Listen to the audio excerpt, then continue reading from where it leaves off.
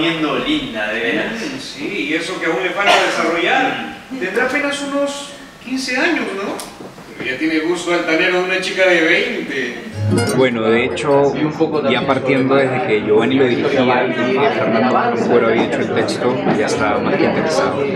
Al leer el texto, y yo solo matarme de risa leyéndolo por todas las situaciones en las que estaban e imaginarme que sabía que lo iba a interpretar al lado de Sergio Gilmovi, fue lo que me dijo decir, tengo que aceptar este personaje. Además, una de las cosas que me hace muy feliz es que hace mucho tiempo, en realidad solamente antes de esta obra he hecho una comedia en el teatro y, normalmente he hecho comedia para la televisión, entonces estoy contento de poder hacer una comedia en el teatro y más aún una obra tan buena de época y peruana como es el fraude epistolar.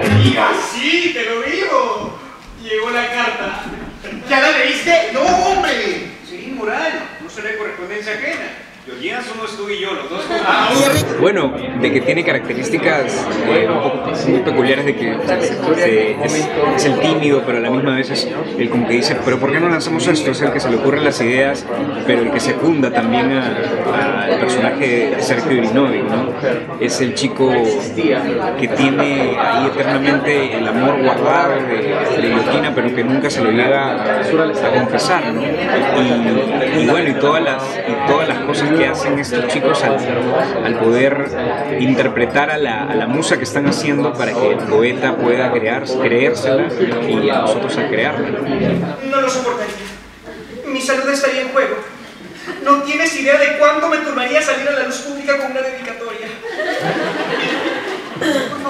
Bueno, yo creo que va a recibir un poco de todo porque esta es una comedia, así que va a recibir flechazos de amor, va a recibir flechazos de, de tristeza, se van a sentir muy identificados con muchos personajes y también se van, se van a reír mucho, así que van a re, más que recibir risas, van a recibir momentos para reír. Apoyó a la República, había firmado manifiestos y lo siguió firmando. Era un demócrata. Estaba amenazado y por ello vivió el resto de su vida.